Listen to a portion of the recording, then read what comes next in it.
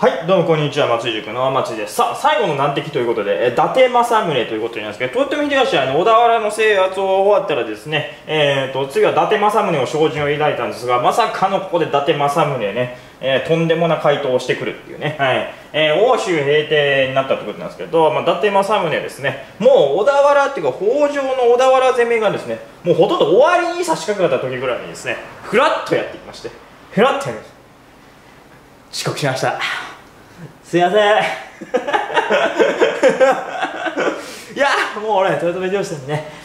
えー、まあ標準する予定だったんですけどね。えー、ちょっといろいろあってちょっと寝坊して。あ、ちょっと来るの遅くなったかなっていうね、はい、ちょっと遅かったっつってね、もう6ヶ月間とか、6ヶ月じゃないですね、もう散々3年間から8年間ぐらいとか7年間ぐらい、もうずっとこうね、えー、わけわからんこと言って逃げ続けるっていうことですね、はい。まあさすがに豊臣秀吉もですね、まあ、その場で首を切るわけにもいかずですね、お前よくそんな嘘つけるなって言って、いいかかりですわ、そんなこと言われたら困りますわ、はい。ね、はい、まあ、なんと乗り切ったっていうね、はい。まあ、こういう人が伊達政宗ですね。はい。まああのここのシーンね、まあ、あの結構かっこよく描かれるシーンが多いんですけど、お前何言ってんのみたいな感じですね。